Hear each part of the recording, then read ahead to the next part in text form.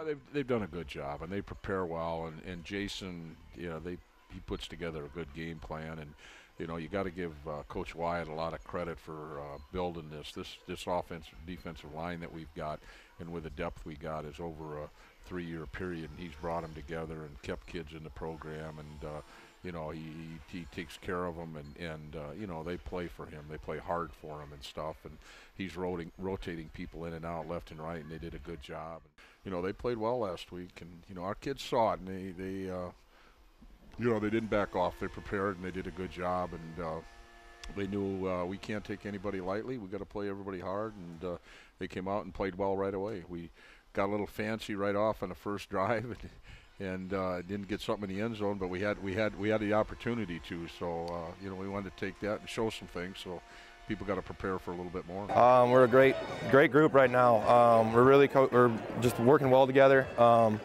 uh, secondary is a new bunch of new guys um, making great plays, making great strides with Coach Caniglia.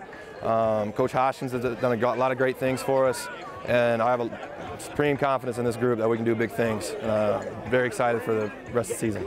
Um, well, it was a safe punt. Uh, we weren't really supposed to return it, um, but it, the punter punted it so low that I thought I had a chance to make a big play for us. Um, I got around the edge and I got a couple big blocks there, and uh, my team got me in the end zone, so was a good play.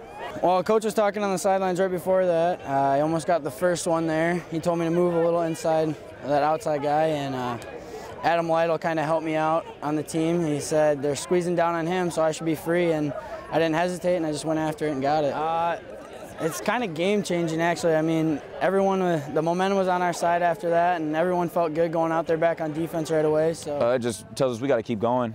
I mean, every week there's something we can build on, but uh, our motto is every week we want to get to one and zero. Oh. You know, at the at the beginning of the week, we don't worry about two and zero oh because those games are in the past. You know, so being able to to say, hey, one and zero, oh, let's get to one and zero this week. Let's get to one and zero this week. I think that puts everything in perspective. Like, all right, we only got to worry about now. So being 3 0, I mean, it helps the team a lot. You know, builds builds morale and helps us get going. Uh, I think just building confidence. Uh, all week we've harped on the fact that we need to run the ball. We have to be able to run the ball, run the ball, run the ball. Because the first two weeks, uh, we obviously passed the ball a lot, but we passed the ball well. Uh, you know, when that's happening, it's kind of hard to, to say, all right, let's try to run the ball now. But especially going ahead, we have to be able to run the ball. You know, it's good for our offensive line to build confidence. And uh, I think this game helped our offensive line, helped our team out a lot, you know, being able to say we run the ball well. Actually, I wasn't setting on my block. I was telling Trey to get open because I wanted to throw him the ball. But he just went to go blocks, and it turned out for the better.